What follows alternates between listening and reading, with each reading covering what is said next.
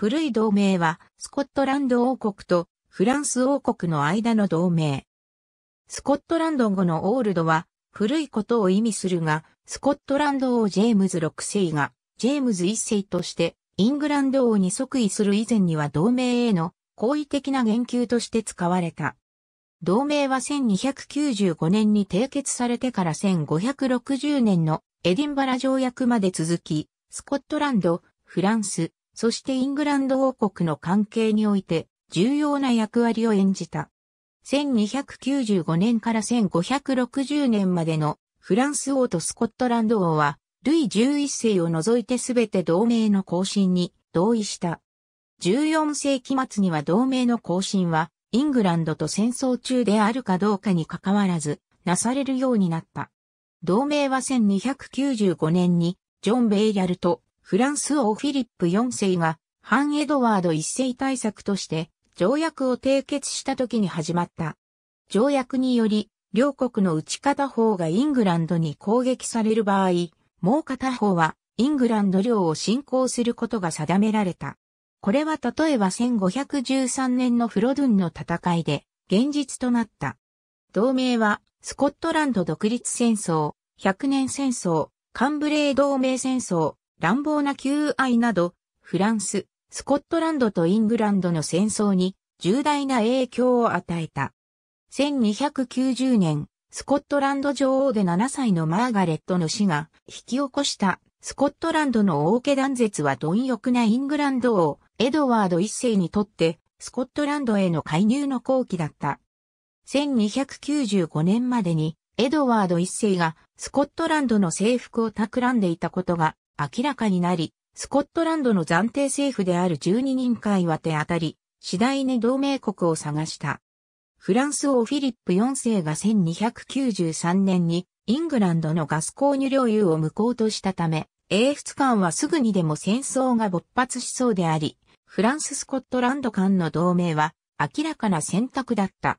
1295年10月、スコットランドの施設とフィリップ4世はパリ条約の締結に同意した。これ以降に起こった同盟の更新と同じく条約はスコットランドよりフランスの方に有利だった。というのも、フランスはガス購入におけるイングランドとの紛争を続けるだけで、よく一方のスコットランドは自腹でイングランドとの戦争を始めなければならなかった。しかし、ヨーロッパの辺境にあり、貧しかったスコットランドにとって、ヨーロッパの大国との同盟という象徴的な意味が大きく、たとえ象徴の意味が実質より大きかったとしても、スコットランドにとって同盟の利益は大きかった。しかし条約は短期間にはスコットランドをエドワード一世から守ることができず、結局エドワード一世は1296年に旋風の勢いでスコットランドに侵攻、スコットランド独立の芽を摘んだ。さらに、1299年にはイングランドとフランスの間の紛争が終結し、永久平和と友好の条約が結ばれたことで、エドワード一世は全軍をスコットランドへの攻撃に使うことができた。結局、スコットランドが生き残ったことは、フランスとの古い同盟のおかげではなく、ロバート・ブルースの軍事的指揮権とエドワード2世の失策によるものだった。1326年、ロバート・ブルースはコルベイユ条約で同盟を更新した。当時両国ともイングランドとの紛争を抱えておらず、同盟の更新は予防的なものだった。しかし、1330年以降に、エドワード3世がスコットランド征服を完成しようとし、フランスでの権力も再建しようとしたため、フランス・スコットランド同盟が初めて緊急性を帯びてきた。1346年、フランス軍はクレシーの戦いでエドワード3世に大敗を喫した。その2ヶ月後、スコットランド王デイビッド2世がイングランド北部への侵攻中にネビルズ・クロスの戦いで敗れて捕らえられ、侵攻が失敗に終わった。デイビッド2世が国を11年間も開けたことは、スコットランド国内での権力闘争が激化することにつながった。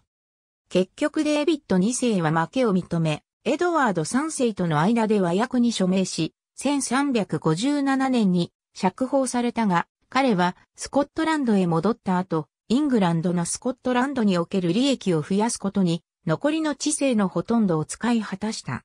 1371年、スコットランドはグラスゴー司教とギャロウェイ教を施設としてフランスに派遣、バンセンヌ・ウェディンバラ条約で再び同盟を更新した。条約は6月30日にシャルル5世によりバンセンヌ城で署名され、続いて10月28日にロバート2世によりエディンバラ城で署名された。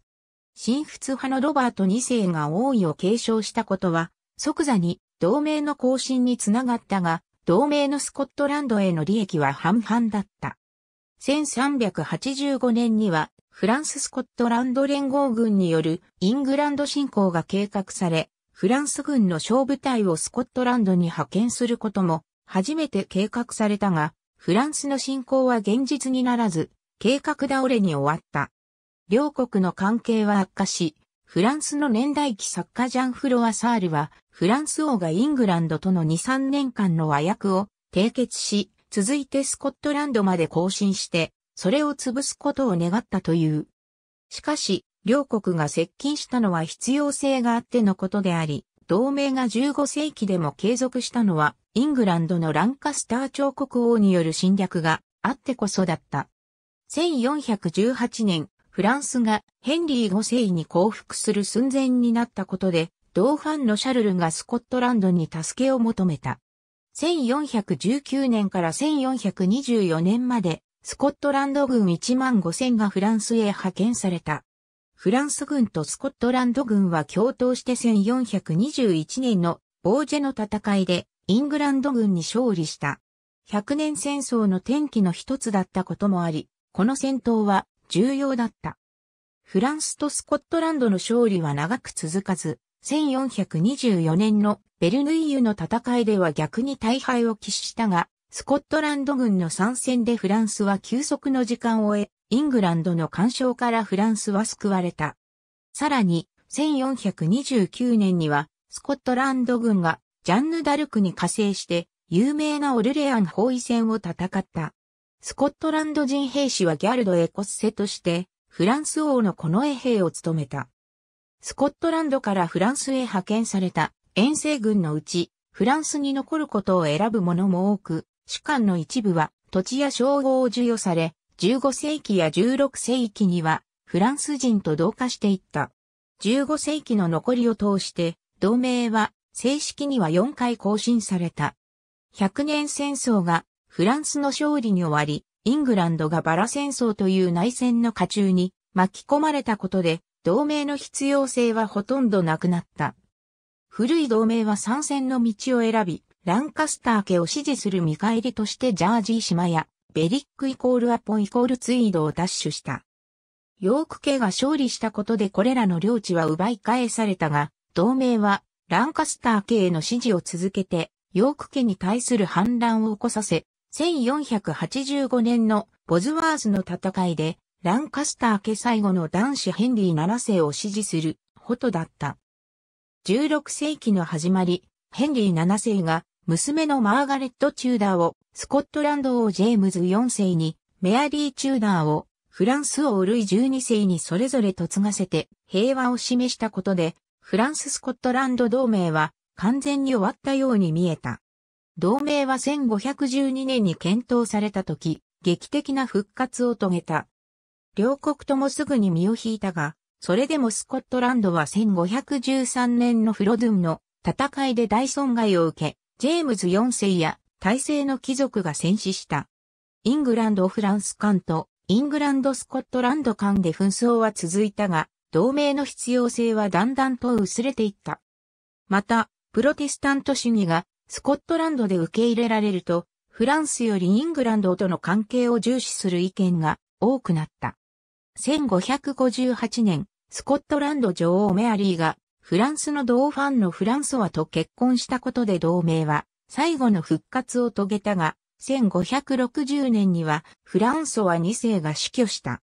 メアリー女王が1568年にイングランドへ追放されたことで、新王ジェームズ6世はスコットランド王である同時に、イングランドの王位継承者となった。彼がイングランドに接近しようとしたことで同盟は無用の長物となった。同盟が250年以上続いた後の1560年代、エディンバラ条約により、スコットランドとフランスの同盟が正式に終わった。スコットランド宗教改革により、スコットランドではプロテスタントを採用することが定められ、同じくプロテスタントを採用したイングランドとの同盟を選んだ。宗教改革の最中、プロテスタントの改宗指導層は古い同盟を拒絶し、ベリック条約でイングランドの軍事支援を確保、フランス出身の摂政メアリ・オブ・ギーズに対抗した。1562年には、スコットランド兵士200人がノルマンディーに派遣され、ユグノー戦争の最中にあるフランスのプロテスタントの反乱を支援した。しかし、ギャルド・エコス製は継続され、1830年にフランス王シャルル10世が退位するまで続いた。主に軍事と外交上の協議であったが、同盟はスコットランド人の生活にも影響した。これは建築、スコットランド語、法律、料理などを含むが、スコットランド人がフランス軍に従軍したことによる。法律については、スコットランド人がたびたびフランスの大学へ留学したことも影響しており、この慣習はナポレオン戦争時代まで続いた。他の知識に関するフランスからの影響も18世紀まで続いた。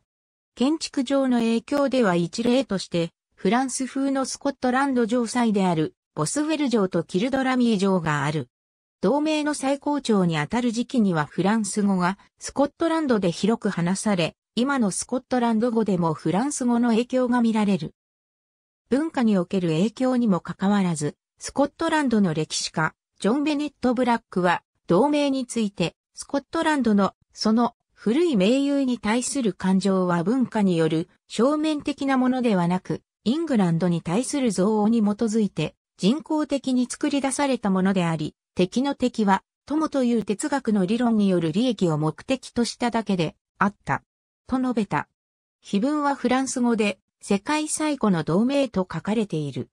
シャルル・ド・ゴールは1942年6月にエディンバラで行った演説において、スコットランドとフランスの間の同盟を世界最古の同盟と形容した。また、下記のことも宣言した。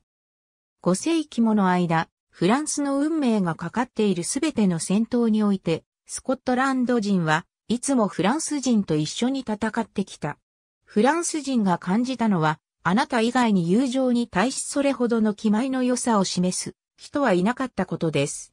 1995年、同盟開始から700年を記念して、両国で祝典が行われた。2011年、イギリスの歴史家シオバーン・タルボット博士は、古い同盟が取り消されたことはなかったとする研究を発表した。ありがとうございます。